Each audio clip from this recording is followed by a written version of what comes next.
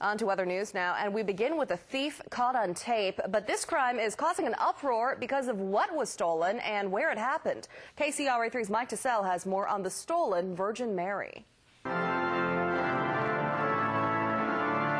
As Catholic Mass began inside the Cathedral of the Blessed Sacrament Sunday, it was this surveillance video that had so many in disbelief.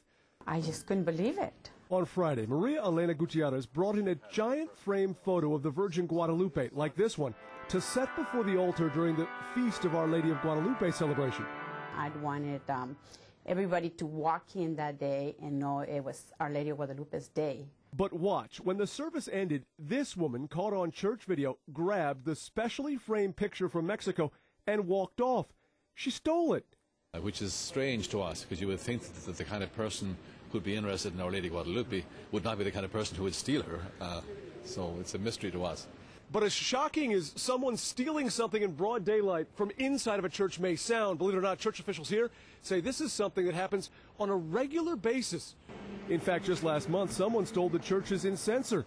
And since then, white cloths, even money have been stolen.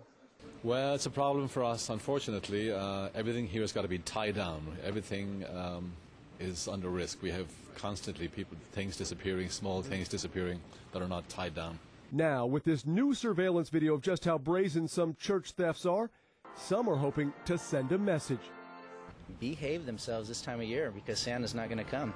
Or, in the words of another parishioner, even if this woman never gets caught, God will always know.